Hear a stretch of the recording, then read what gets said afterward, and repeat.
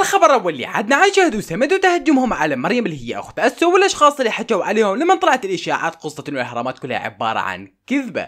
فيومها مريم وهواي من المشاهير طلعوا بثوث مباشر وصاروا يحجون عليهم ويتهجمون عليهم إنهم كذابين شهد وسمد. ولكن بعد شهد وسمد نزلوا مقطع على قناتهم باليوتيوب وشرحوا بيه ان الموضوع كله عبارة عن حقيقة وحطوا الدلائل. واكدوا الموضوع عبارة عن حقيقة. فمريم وهواي من المشاهير طلعوا حكوا عن هذا الموضوع. ما طلعوا واعتذروا عن اللي سووه. هذا الشيء اللي خلى شهد إنه تنزل على حسابه بالإنستغرام هذا اللي سوري اللي كانت كاتبة بيه عندي سؤال ليش لما طلعت الإشاعات والاتهامات الباطلة؟ عنا بخصوص الأهرامات أشخاص معينة طلعوا وحكوا علينا بالباطل بس لما طلعنا وأثبتنا الموضوع بالفيديوهات إنه خلص كل شيء عبارة عن حقيقة مو كذب وإشاعات. نفس الأشخاص ما طلعوا وحكوا مرة ثانية هذه اخر مرة نحكي على الموضوع. والحمد لله على كل شيء. هذا اللي خلى متابعين شهد وسمد إنه يروحون يتهجمون على مريم وهاي من المشاهير اللي حكوا على هذا الموضوع. فاكتبوا أحباب بالكومنتات أنتوا يا ويا الأشخاص هذول حكوا أو ويا شهد وسيمند ننتقل حاليا نور. مارو واعلان انه راح ينزل مقطع. على قناته حيكون عبارة عن فضايح. فشو توقعوا المقطع يا حبايب؟ وبنفس الوقت هو المقطع راح ينزل الساعة بالخمسة. فحط لكم ستوريات تشوفوها. لكم من كل شيء يا جماعة. بكرة على الساعة 4 وعلى الساعة 5 بتوقيت الإمارات. في جديد في فضايح على اليوتيوب. خليكم جاهزين.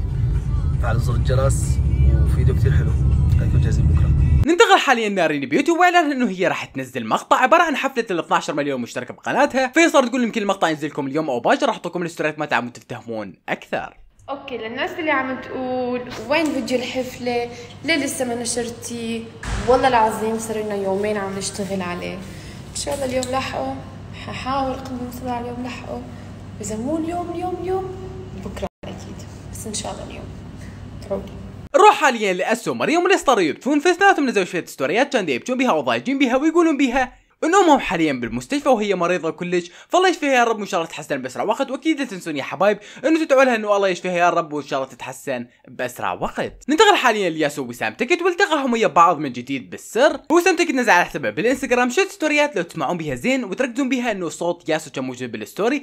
طبعا صحيح تصالحوا ولكن ما زالوا يلتقون بالسر رغم اكو هواي دلائل. تبين إنه هاي الالتقاءات مالتهم بين مكشوفة ولكن ما زالوا يصورون بعض بالستوريات ولا يسوون follow لبعض. فما أدري يشوفوا الستوريات.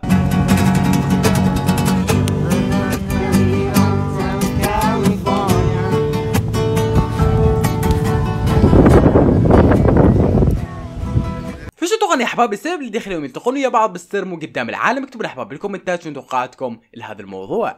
ننتقل حاليا لاحمد أبو الرب وشرح شنو سبب الخلاف اللي صاير بينه وبين عائلة بيوتي. فنزل شوية ستوريات كان يحكي بها عن هذا الموضوع راح اعطيكم اياها اللي حابين نشوفها كامل يفتهم سبب الخلاف. شوفوها.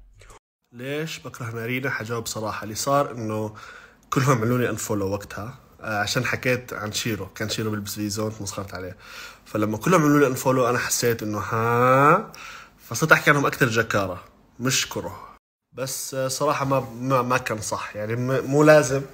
يعني زي ما أنا بتوقع منهم ما أحكي عنهم ما يأخذوا الأمور شخصي لازم حد يعمل لي unfollow ما أخذ الموضوع شخصي برضه. فهي كانت قلة عقل مني بصراحة. بقولها. بطلع حبابنا وصلت المقطع لا تنسون تفجرون هذا المقطع باللايكات وبس. جنكم زين من قناة بيت القصص مع السلامة.